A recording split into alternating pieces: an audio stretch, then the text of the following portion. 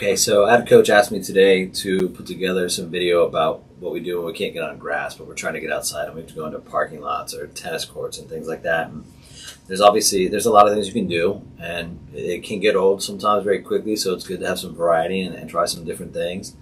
But uh, there's always skills. Obviously, you can do step ups, pendulums, foundations, uh, moving the ball with the sole of your foot, and, and that type of thing. Skills pretty easily.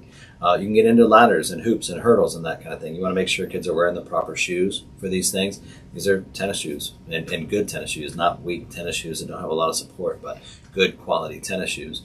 Um, but then you can take the skills and the ladders and you can mix them together. You can have kids doing skills while going through ladders or over hoops and hurdles and things like that and around different obstacles. So skills with ladders and hoops and hurdles are very important and things you can do as well. Um, when I get into these kind of things, I like to have a lot of fun and play some music. Uh, we'll play a lot of soccer tennis. Soccer tennis can be um, can be a lot of fun. Uh, it can be also challenging for players that, that struggle with it a little bit. So bringing some sound in to kind of affect some rhythm and, and energy is, is great. So I'll show a couple videos of my players at younger age groups and older age groups back from the Classics Eagles days. We have some kids here that when they were 10 or 11 years old that are now on our U17s and U18s.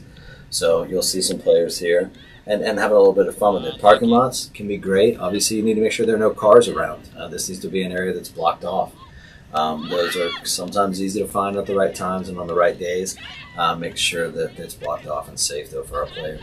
Uh, parking lots can be great though because sometimes they have lines already drawn on the surface, and you have to be careful when you don't have that because when you're using discs and cones, players can step on a cone or step on a disc and slip and fall. And obviously, the surface is a lot harder than it is on the grass. So you got to be really cautious with that. In fact, you have to be really careful about just debris in general there can be gravel. Sometimes these are concrete courts that have uh, the concrete started to degrade a little bit and can be very slippery. Sometimes you'll find trash out on courts and things like that. You need you and your players need to, to make an effort to go across the court and just make sure there's not anything there that somebody might step on and slip because slipping happens and, and cones will do that a lot of times. So if you have natural markings like tennis court lines or parking spot lines, those can be really, really helpful. Uh, but I try to add a lot of music and uh, have a little bit of fun with it and allow kids to enjoy that while they're playing. Um, again, you can play soccer tennis. Uh, I've had some with our older groups here.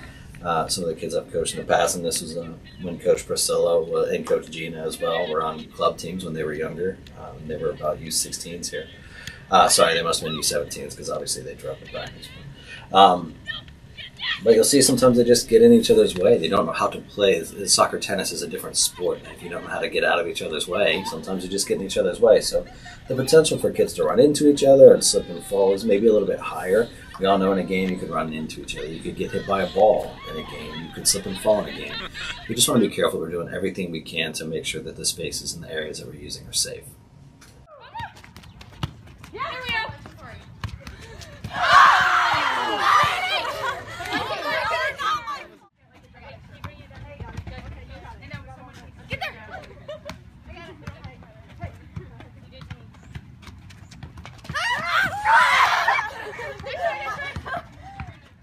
There are a number of things you can do. If you can't get onto courts to play soccer, tennis, or something like that, you can use areas and play small sided games. It's a great area for futsal. Uh, it's a very similar surface for futsal. So having a futsal ball and some small goals, or just a regular soccer ball and some small goals, uh, you can play a small sided tournament. And you know, trying to play eight v eight is difficult, but having a four v four tournament where you everybody plays everyone, and then you have a semifinal and a final, and there's something to win in the end can be a lot of fun. So have a little bit of fun with it. Be creative. Make sure the areas are safe. Make sure the activities you're choosing are safe, and uh, enjoy it.